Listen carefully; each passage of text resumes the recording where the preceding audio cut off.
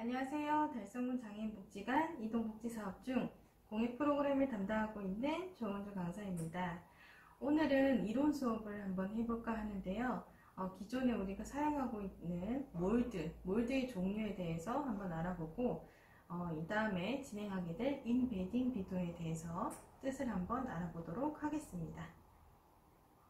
자, 오늘은 몰드에 대해서 먼저 알아보고 그 다음에 인베딩이 뭔지 이론적으로 이제 설명을 조금 해드리려고 하는데요.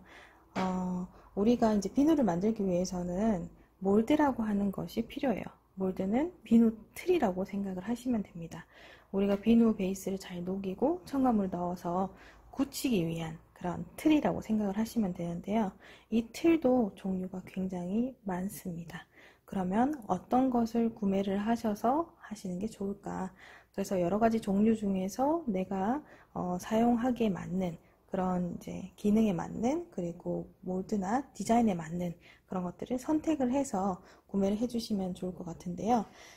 제일 먼저 어, 많이 사용하시는 다구 몰드가 있습니다. 다구 몰드라고 하면 어, 우리가 보통 6개에서 많게는 30개까지 들어가 있는 다구 몰드인데요. 이것은 대부분 우리가 비누 하나 만들 때 100g 정도 만들죠. 그래서 100g 정도 제작을 할 때 필요한 다구 몰드는 보통 6개, 4개에서 6개 정도가 판매가 되고 있어요. 그래서 보통 이런 형태로 판매가 되고 있습니다. 이것은 타블렛 몰드라고 해서 여기 구멍이 나 있죠. 그래서 여기다가 석고 방향제나 이런 것들 만들 때 많이 쓰는 몰드인데요. 그래서 한 개만 있는 게 아니라 하나, 둘, 셋, 넷, 다섯, 여섯, 여섯 개가 들어가 있어서 다구 몰드라고 하는 몰드입니다. 그래서 제가 주로 나누어 드렸던 그 몰드들은 잘린 단면 제가 이렇게 잘라가지고 드렸잖아요. 그래서 이런 다구 몰드를 잘라가지고 드렸다고 생각을 하시면 될 거예요. 어, 그리고 이렇게 다구 몰드가 있는데 어, 이런 다구 몰드는 보통 우리가 비누 한 개 충분히 쓸 수 있는 80g에서 100g 정도 제작을 할 수 있는 다구 몰드인 반면에 비누 안에다가 집어넣기 위해서 작은 비누를 만들기 위한 다구 몰드도 있습니다. 이렇게 귤 모양, 지금 모양은 귤 모양인데요.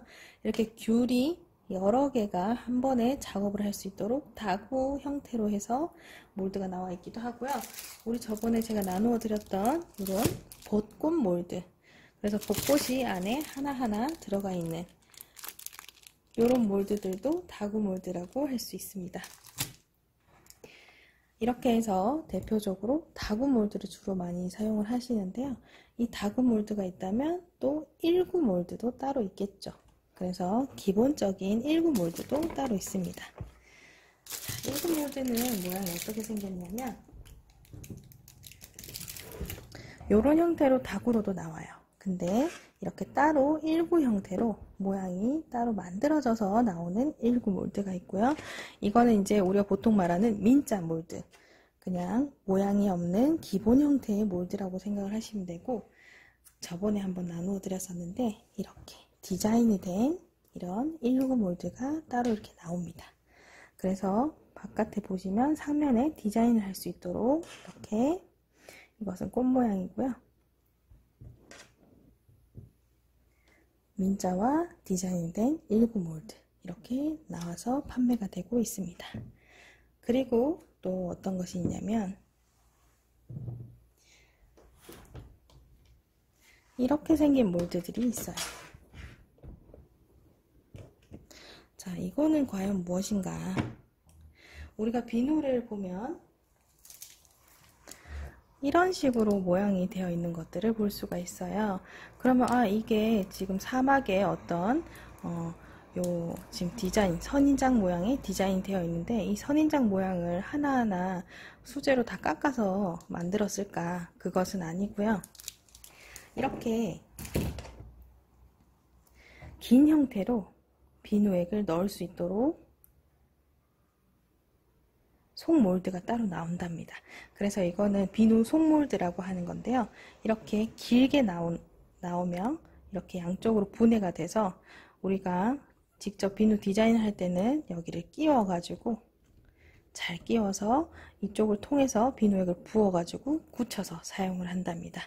어, 근데 이거 같은 경우에는 이 옆부분을 제대로 꼭꼭 누르지 않는다면 비누액이 새어 나올 수도 있어서 조금 사용하기가 까다로워서 초반에는 많이 사용하지 않는 몰드예요. 그래도 디자인하기에 그리고 다 어, 보통은 1kg 몰드에 CP 비누 같은 거 작업하실 때는 이런 것들을 많이 사용하면 어, 굉장히 균일하고 어, 똑같은 모양으로 여러 장을 만들 수 있는 그런 장점이 있죠. 방금은 요 선인장 모양이었지만 이것처럼 동그란 모양, 그 다음 별 모양, 하트 모양 이렇게 나오기도 하고요. 이거는 달 모양, 주로 이제 밤, 밤비누 밤, 밤에 있는 이제 달, 이런 거 표현할 때 자주 쓰는 달 모양의 이런 몰드입니다. 그래서 이런 몰드들도 우리가 사용을 할 수가 있죠. 그리고 이렇게 여러 개가 나오는 이런 몰드도 있답니다. 저희가 이제 비누 할 때도 많이 사용을 하긴 하지만 어, 원래는 베이킹 몰드랑도 굉장히 많이 자주 교환해서 쓰기도 하죠. 이렇게 해서 비누가 다양하게 어, 몰드를 사용해서 다양한 비누를 만들 수 있다는 것을 알게 되었는데요. 어, 우리가 이제 앞으로 할 것은 인베딩이라는 비누거든요. 인베드라고 해서 어, 안에 집어넣는, 속해 있는 이런 뜻을 가졌는데요. 그래서 우리가 비누 안에다가 이런 작은 비누칩을 만들어서 집어넣는 디자인을 할 때 embedding 비누라고 우리가 말을 한답니다. 그래서 아까 보여드렸던 이런 선인장 비누나 그 다음에 이렇게 꽃을 집어넣은 이런 비누들을 보고 우리가 embedding 디자인 비누라고 말을 할 수가 있습니다. 앞으로 embedding 디자인 제가 직접 칩, 칩을 어, 미리 만들어서 좀 드릴 거예요. 칩 하나하나 만드는데 시간이 좀 많이 걸리다 보니까 그래서 그런 칩들을 사용해서 앞으로 인베딩 비누를 한번 만들어 보도록 하겠습니다.